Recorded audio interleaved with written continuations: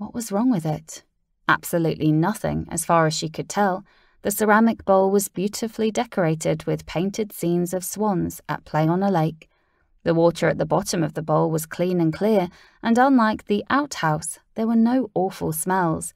There was even a basket of newspaper strips on the floor beside the base for after one had finished, much more disposable and sanitary than the corn cobs and sticks one normally found in outhouses.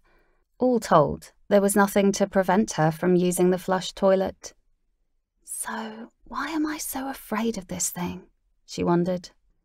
Shirley had been at the hunting lodge for nearly three weeks, but in that time she had not used any of the flush toilets in the house even once, which made her an outlier because, as far as Shirley could tell, everyone else used them and seemed no worse for wear. Sir Joseph used them. Griffin and Lucinda began using them after the third or fourth day. Milverton used them. The other two maids, Hilly and Beth, found them rather luxurious, and she had good reason to suspect both Garland the cook and his son used them when they needed to relieve themselves. Only she and Mrs. Preston, who was an older and much more traditional woman than Shirley was, refused to use them, and Shirley was starting to feel silly for doing so. However, today she had been tasked with cleaning all the water closets in the house, and she happened to need to relieve herself now seemed as good an opportunity as any to try out the newfangled thing. So why am I just standing here staring at it? She knew why, because in the back of her mind a terrifying moving picture was playing.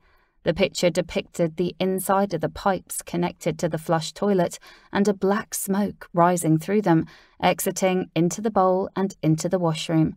The black smoke was disease and plague and death personified, and it would harm anyone who breathed it in. Like a maid, standing there staring down at the ceramic bowl like it was an enemy, Shirley shook her head. To hell with this, she thought, her inner voice a snarl. You're being so childish. Just sit down and use the damn thing. With a huff, Shirley set down her cleaning supplies, held up the skirts of her uniform, and sat, spreading her legs over the bowl. Her knickers, made of two separate articles of clothing tied to her hips and to each other with strings and snaps, were untied and unconnected above her crotch. As she spread her legs, the gap between the two articles of clothing widened, exposing her private parts to the open toilet bowl. Shirley shivered as she felt the cold ceramic touch her bare skin, but endured and concentrated. A moment later, she felt the rush of urine inside her and heard the stream hitting the inside of the bowl.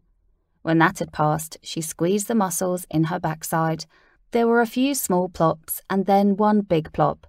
She exhaled. This isn't too bad, she thought, and it's less of a bother than the outhouses. I could see this becoming more commonplace. Her business finished, Shirley leaned over to grab a strip of newspaper from the basket. Below her arse, something gurgled. Shirley froze, ears pricked for sound. When she heard nothing, she let loose the tension she had not been aware she had been holding and continued to lean over for the newspaper. Must have been bubbles, she thought. After all, there's water in the bowl. Perhaps when piss and shit mixes with water, it lets out bubbles with a distinctive noise. I've seen enough bubbles in the shit and mud outside the Avondales home to know that bubbles sometimes appear. Perhaps I've never heard anything because I was always on the second floor. Another gurgle sounded from the bowl. Shirley ignored it and grabbed a strip of newspaper.